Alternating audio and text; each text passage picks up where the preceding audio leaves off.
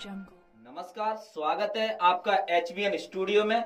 आज हम आपकी मुलाकात कराने जा रहे हैं भारतीय किसान यूनियन के युवा मोर्चा जिला अध्यक्ष पुष्पेंद्र यादव जी का। तो आइए उनका स्वागत करते हैं। पुष्पेंद्र जी आपका स्वागत धन्यवाद।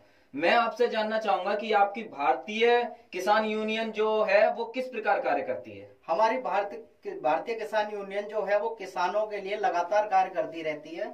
किसानों के कहीं भी परेशानी कुछ भी किसी भी तरह की परेशानी होती है सरकार से योजनाएँ दिलवाना होता है और जो भी कार्य होते हैं उन पे हमारी किसान यूनियन कार्य करती है। आपकी यूनियन अभी तक किसानों के लिए क्या क्या योजनाएँ लेके आई है क्या आप हमें बताना चाहेंगे?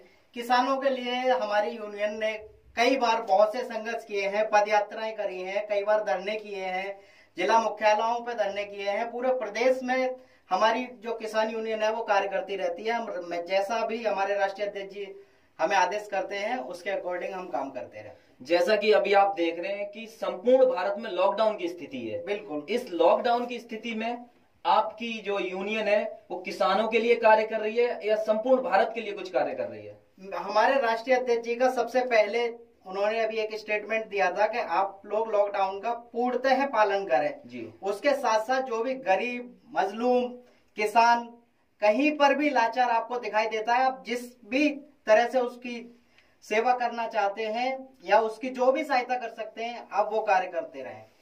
अगर कोई किसान किसी भी चीज़ से परेशान है तो वो अपनी गुहार कहाँ पर लगाए? आपसे करे या आपके जो भी आपसे ऊपर है उनसे करे? आपकी ऑफ़िस वगैरह कहाँ पर है? कार्यालय? हमारे हम सबसे पहले मैं आपको बताना चाहूँगा हमारे संगठन में ऊपर नीचे और ये सब केवल थोड़ा सा डिवाइड किया गया है जिससे कि लोग बाग एक मुट्ठी में बंधे रहे। जी। और किसान हमारे बिल्कुल निम्न स्तर का जो कार्य करता है उससे भी मिलके जो भी बात उसकी परेशानी होगी उसको माननीय राष्ट्रीय अध्यक्ष जी तक पहुँचाया जाता है।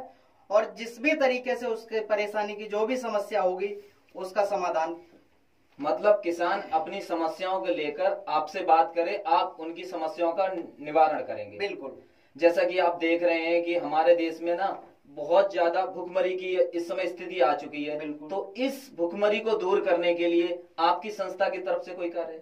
हाँ जगह जगह हमारे कार्यकर्ता जो भी हैं जिला स्तर पर ब्लॉक स्तर पर उनको खाना वितरित कर रहे हैं। सोशल डिस्टेंसिंग का ध्यान रखते हुए बाकायदा उनको जो भी सुविधाएँ वो मुहैया कराई जा रही हैं। आप हमारी जनता से कुछ अपील करना चाहेंगे हमारे चैनल के माध्यम से? आपके चैनल के माध्यम से मैं कहना चाहूँगा सरकार से भी मैं आग्रह करना चाहूँगा कि किसानों को उनके अनाज का जो भी मूल्य सबसे बेहतरीन हो वो मूल्य दिया जाए क्योंकि हमारा जो अन्नदाता है वो किसान है। हमारा देश भी एक किसानों का देश है। तो मैं चाहूँगा कि किसानों की और मेरी भी जो बन सकती है, मैं वो सहायता करने के लिए हमेशा तत्पर हूँ। ये थे हमारे साथ पुष्पेंद्र यादव। घर में रहिए।